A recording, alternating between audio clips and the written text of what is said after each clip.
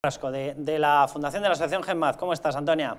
Hola, buenas tardes, Carlos. ¿Qué tal? Estábamos hablando de esta utilización, eh, no solamente de una falsa denuncia, sino utilización de una estadística que hemos mostrado. Ya sé porque me han contado de, eh, la redacción que tú incluso, eh, la fuente que tienes da incluso menos que los que hemos mostrado en el, en el, último año, en 2020. Pero bueno, independientemente de pequeños matices, ahora nos lo comentas, eh, yo creo que estaremos de acuerdo en que no solamente se está utilizando una falsa denuncia, sino que se está generando una ola en base a datos que, al margen de la falsa denuncia, es que también son mentira.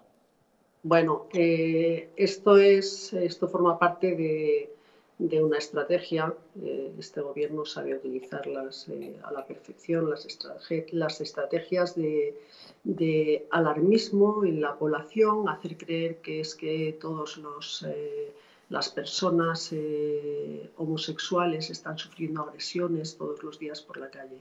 Yo quería puntualizar una cosa primero y es que curiosamente cada dos días muere una persona heterosexual en este tipo de reyertas callejeras, como por ejemplo lo que le sucedió eh, desgraciadamente a Samuel, el chico este de Galicia. Sin embargo, mm, no se habla.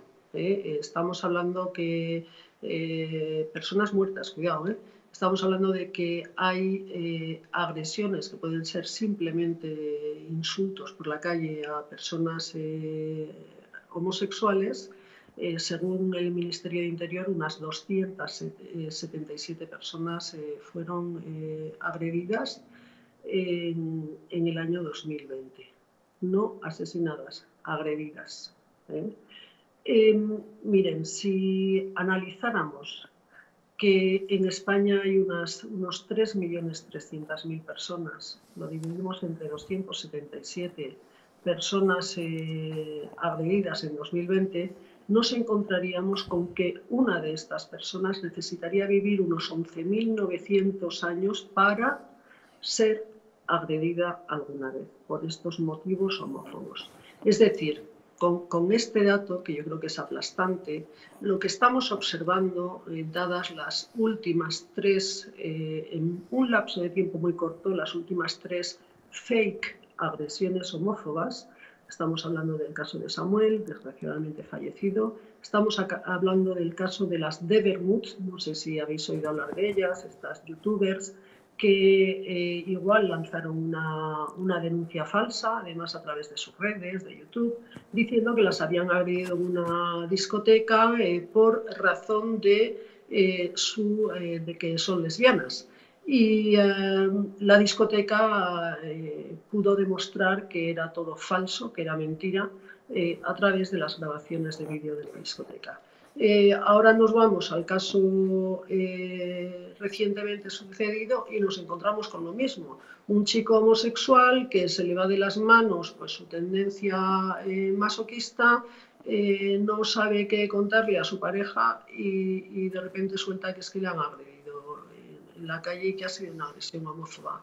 A mí todo esto en realidad me suena a que nuestro gobierno lo que pretende es, eh, bueno, pues eh, por un lado mmm, eh, están viendo que tanto PP como Vox están sumando cada vez más adeptos, hay cada vez más intención de voto hacia estos dos partidos políticos y la izquierda necesita echarles la culpa de algo y en este caso pues necesitan decir que gracias a Vox y al PP, etcétera, etcétera, cada vez está creciendo más la homofobia. Antonia, fíjate, hay, hay un caso muy llamativo porque además prácticamente coinciden las fechas, fue un poco antes, un chaval de 25 años sufre un, una agresión homófoba, le parten la cara en una localidad muy cerquita de Talavera, eh, este chaval eh, recibe el apoyo, recibe el apoyo de Vox, recibe el apoyo de PP, recibe el apoyo también de los mandos del Partido Socialista, eh, muy cerca de esa localidad, pero él tiene el posicionamiento político que le da la santísima gana, hasta ahí podríamos llegar, igual que tiene el sexual que le da la maldita gana, hasta ahí podríamos llegar, y entonces resulta que él acude a la sede de Vox, le invitan y dice, ah, pues sí que voy, que me apetece, y se saca una fotografía con una pulsera de Vox este caso ha sido apartado de esta agenda.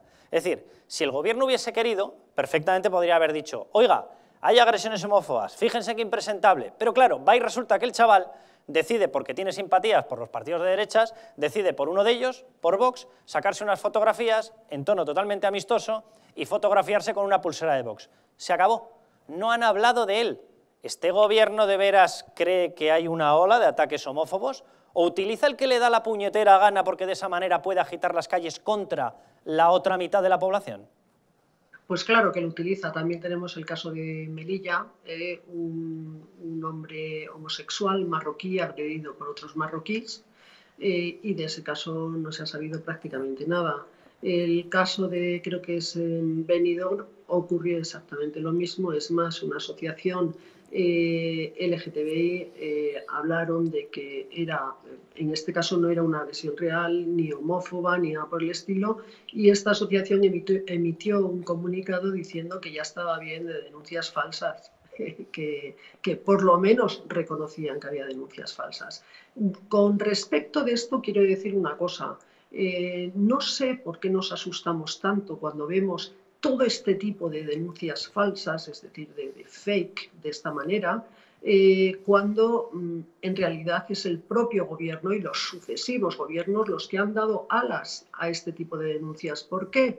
Pues porque no tienen ningún, eh, ningún coste económico para la persona que pone este tipo de denuncias y muy raramente hay eh, a nivel judicial hay hay castigo para este tipo de... Pues tienes, toda la razón, tienes este toda la razón. Este tipo de denuncias. Entonces esto es como un contagio social.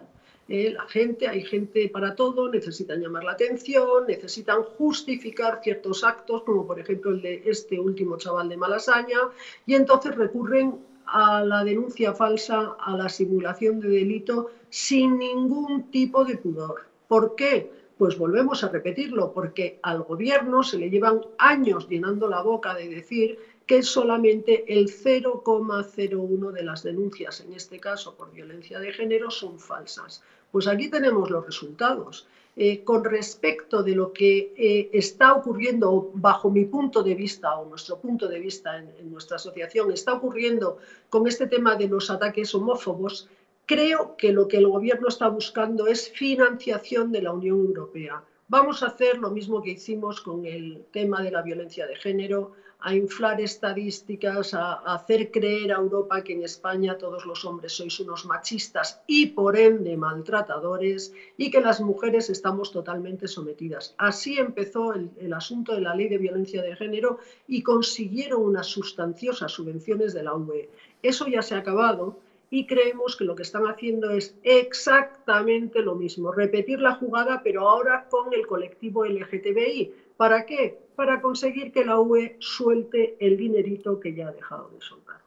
Antonia, un abrazo muy fuerte y muchas gracias.